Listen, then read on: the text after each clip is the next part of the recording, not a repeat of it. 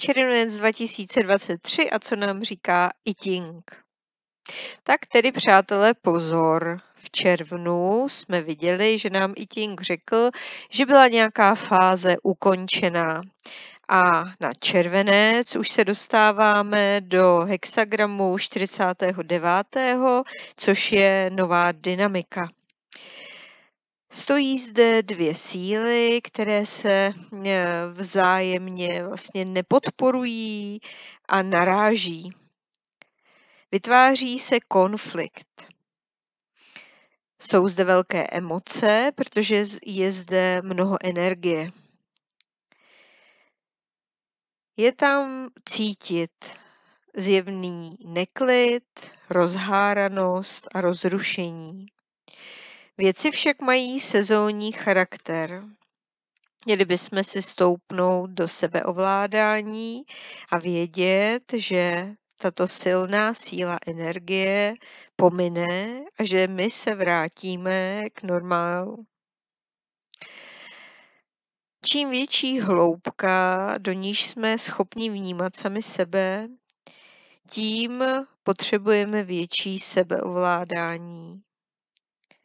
Neboť čímž je naše povaha hlubší, tím větší zodpovědnost máme, protože naše energie se mohou účastnit toho, co se děje a mohou, řekněme, po té platformě se násobit a tak je hodně podstatné pochopit,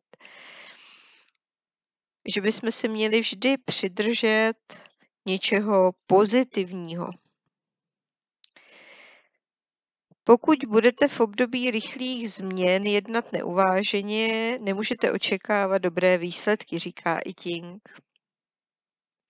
Nedokážete-li jednat s vysokým stupněm sebeovládání, sebedisciplíny a osobní zdrženlivosti, neměli byste jednat vůbec. Účelem sebeovládání je nyní projevit a přitahovat pozitivní síly. Protože díky nim se situace bude nakonec jevit velmi dobrou. Doslova bychom měli pochopit, že po tomhle rychlém nárůstu energie, který povede k velkým změnám, bude následovat něco, co se v té rovině ustálí. Proto nás i Ting nabádá k tomu, aby jsme ve svých životech ty změny dělali. A vyšly dvě, doslova eh, vlastně výpovědní čáry, a to čára druhá, která nám říká, že sami bychom měli vyhledávat změnu. Měli bychom si své životy uvědomovat a vědomně činit. Jestliže vidíme potřebu změny, pak bychom ji měli uskutečnit. Ty změny nepřijdou sami. Není to o tom čekat, až se něco stane nebo něco vyhně nebo vyplyne, doslova. Takže ta druhá čára nám říká, je tady hodně energie, jednejte, doslova. Ono to trošku souvisí i s tím létem. Léto jako dynamika je vlastně plnost energie. Máme období, kdy je nejvíc síly, proto my třeba v kraniosakrální józe cvičíme funkční sílu a vlastně podporujeme, řekněme, eh, svaly a eh, když jste unavení, tak jste energii nevypotřebovali. Tady ta dynamika je postavená, ta letní, trošičku odlišně od té jarní. Dynamika léta se odehrává tak, že vlastně jste unavení, když nevypotřebujete energii. Naopak jakákoliv činnost vás bude naplňovat, nabíjet, pokud jste schopni udržet se vlastně v tom uh, dobrém, v těch dobrých silách. Zajímavé je, že uh, vlastně uh, vyšla i čára čtvrtá, která nám říká, aby jsme si položili jednu důležitou otázku. A to, jestli činíme ty změny nebo máme ty pohnutky k té změně motivovány sobectvím a malicherností, anebo altruismem. Řekněme si, že pokud ty změny budete činit, řekněme, um, tak, abyste si získali ostatní, abyste si uvědomili, že jdete správným směrem, doslova s tím proudem těch ostatních.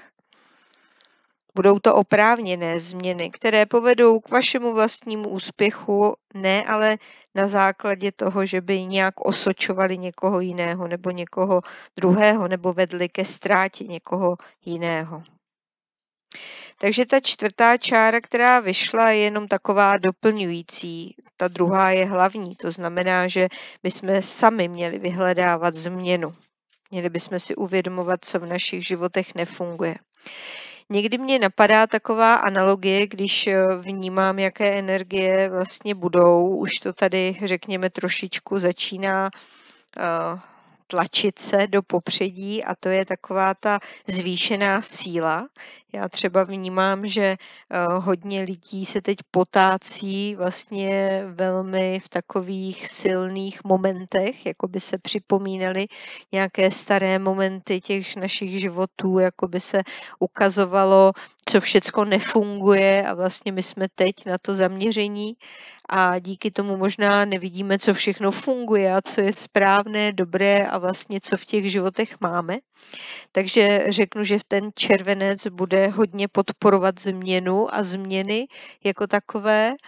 A já si vzpomínám vždycky, když jezdíme na Sri Lanku, tak ta energie na té Sri Lance je hodně podobná té, jaká bude teď v tom vlastně červenci. Ta energie na Sri Lance je taková plná toho slunce, plná té síly, toho zdroje. A ono se to ale projevuje tak, že všechno zesílí. A když to mám říct, tak zesílí nejenom ty dobré tendence, ale zesílí i ty špatné tendence. Takže vlastně my nemůžeme ani na tu Sri Lanku utéct před tou naší myslí, prostě neseme si nějaké dostačující podmínky pohybu naší mysli, neseme si eh, to, jestli ta mysl je primárně v tom dobrém archivu nebo v tom negativním, jestli si spíš, eh, eh, řekněme, hraje na kritickém písečku, nebo spíš se zaobírá tím, jak tvořit, nebo pomáhat, nebo opečovávat. Takže záleží na nás, kam my s tou vlastně silou hýbnem, kam tomu dáme tu pozornost, kam přeneseme tu naší sílu pozornosti. Takže i Ting nám tady říká, že když tohle všechno proběhne, tak se dostaneme do hexagramu pátého, tedy ta dynamika sil se promění a vyšla trpělivost. Pokud se budete trápit, rozčilovat a šířit kolem sebe špatnou náladu, nikomu tím nepomůžete. Situaci to naopak ještě zhorší. Jestliže své chování nezměníte, může se stát, že v rozhodujícím okamžiku učiníte nesprávná rozhodnutí.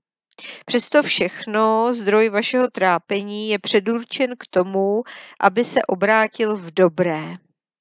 To však neznamená, že byste měli zůstat sedět s rukama založenýma v klíně. Že se to vlastně udělá samo. Nebo že můžete odevzdat vše a ponechat věci svému osudu. Tak toto v žádném případě nebude fungovat. Síla je vložena do vašich rukou. Musíte se vytrvale držet toho, co je správné, protože vlastně jinou možnost ani nemáte. Takže jakákoliv netrpělivost povede k nějakým špatným rozhodnutím.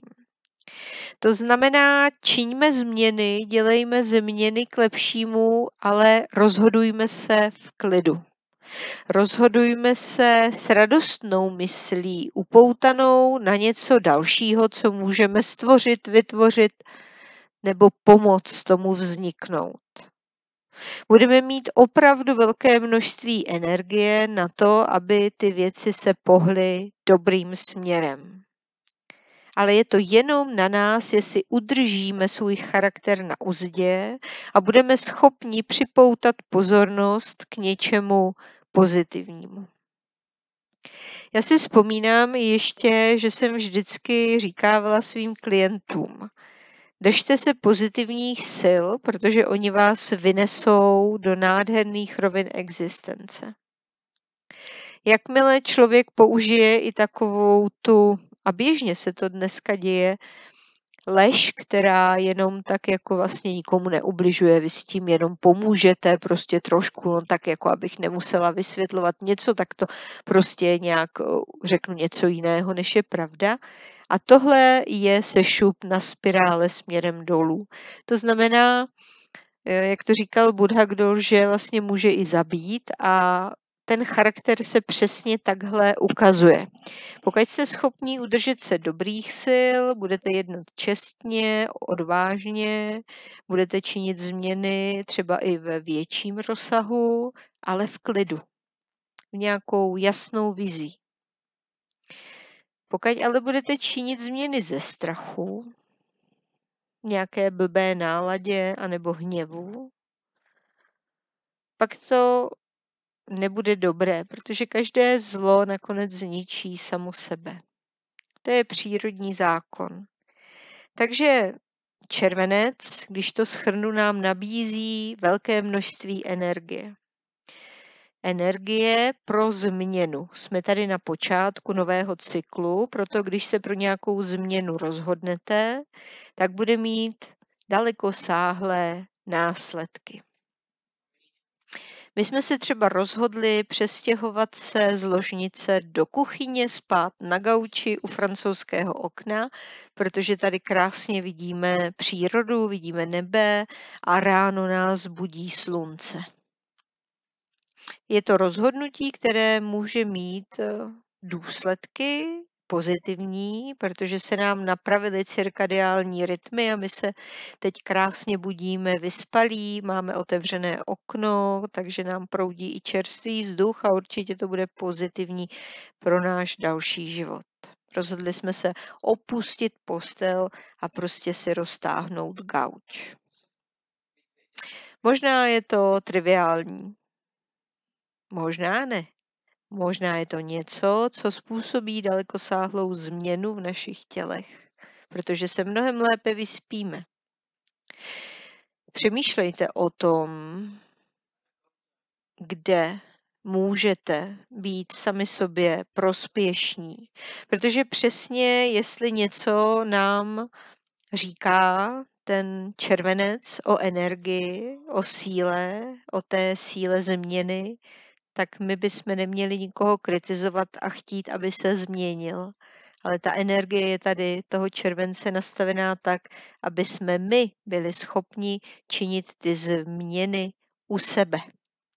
Vidět to, co je potřeba a to, co je důležité. Takže já vám opravdu držím palečky k tomu, abyste uspěli, abyste využili sílu července, sílu, která se naskýtá, protože něco nového vzniká, nasměrovali tu sílu pozitivním způsobem, na základě nějakého dobrého charakteru a trpělivosti Uvědomujte si, že změnu můžete učinit, že vždycky existuje třetí řešení, že většinou my se obáváme, že musíme udělat buď tohle nebo tohle, ale ono to jsou většinou extrém, extrémy a to řešení je někde uprostřed. Takže zkuste využít sílu, kterou nám teď ten vesmír poskytuje, protože je to síla sezónní skončí, nebude tady přítomná pořád.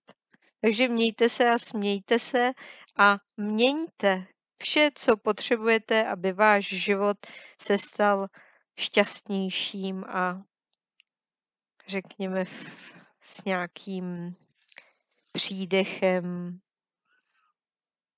abyste našli tu svoji cestu.